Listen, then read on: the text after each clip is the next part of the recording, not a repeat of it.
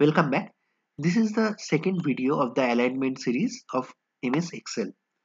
So in this video, I will show you some more alignment buttons and how to use them. I have already prepared one table having columns region, city, sales and crore and year. So let's try with first column. I will select the full column. Now I want, I have in the last video, I have shown the use of these three buttons. If you haven't watched that please watch that. The last video i've also given the link of the last video in the comment section. Sorry in the description section.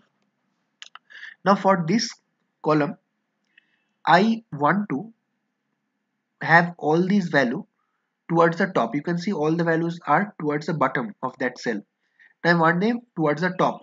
So all this value will come to the top like this. So you can see there are three buttons in the alignment tab. So you can click on the first tab which is the top align. Now you can see all the values have moved towards the top. Now if you want them towards the center so you can put this button the middle align. It will come towards the middle. And if you want them back again in the bottom you can select this button. This will come towards the bottom. Now one more example. This is another column i am going to select I want all the values towards the middle. I will select this button. You can see all the values move towards the middle. I want them all them towards the top. I will select this button. It will go towards the top.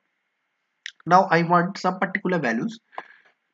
These three cells, I want them towards the top. I will select these.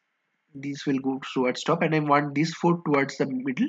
I will select this button. Now you can see they are moved towards the middle like that.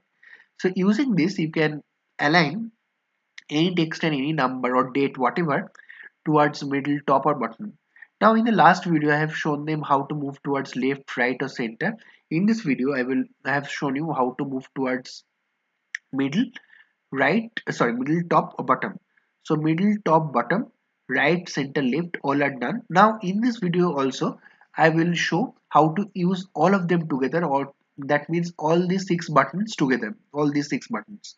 Now I will select this column. I want now they are towards the bottom and in the left side left bottom. Now I want all of them towards right top that means this side. Now I will select first right and then towards top.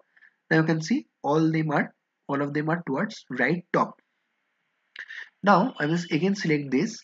I want all of them towards center and middle. So I will first click on center. This will come towards center and then the middle it will come towards the middle of that cell center and middle. Now I will select this I want all of this value towards the left sorry right and I will select right and bottom. So I will select these. All are towards left sorry right bottom. So using this we can align them towards anywhere like left right center top middle bottom anywhere.